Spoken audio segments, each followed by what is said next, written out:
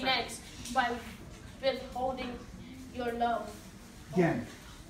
You might as well have poured poison down their necks by withholding your love.